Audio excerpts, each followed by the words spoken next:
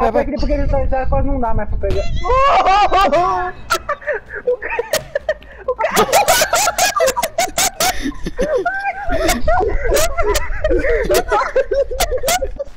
O que aconteceu?